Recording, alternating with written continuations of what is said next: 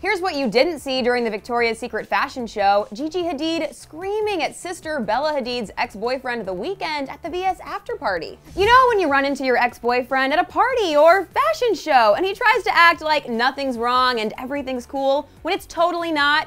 You need someone to have your back. Sisters gotta stick together, and it looks like Gigi definitely had Bella's back at the VS fashion show after party. While Bella and her ex, The Weeknd's runway run-in during the Victoria's Secret fashion show looked friendly, there may have been more to their encounter than meets the eye. Gigi was photographed reportedly yelling at The Weeknd in a quote, heated argument at the after party, according to a source for Hollywood Life.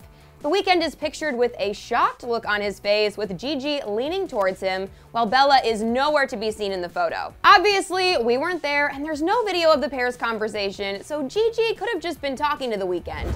But as someone who's had her fair share of run-ins with ex-boyfriends, I wouldn't be surprised if Gigi was standing up for her sister, and sometimes you need someone to do that. While both Gigi and Bella have been slaying the modeling game, Gigi just revealed that she has a thyroid disease.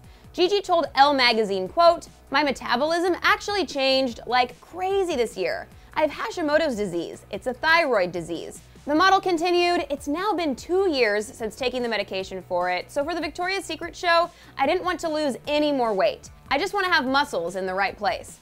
Actresses Zoe Saldana, Victoria Justice, and Gina Rodriguez also all suffer from the same disease. So I want to know, what do you guys think about that pic of Gigi yelling at the Weeknd at the VS after party? Let me know in the comments below, and after that, click right over here for 10 emotional YouTuber coming out stories, and be sure to subscribe.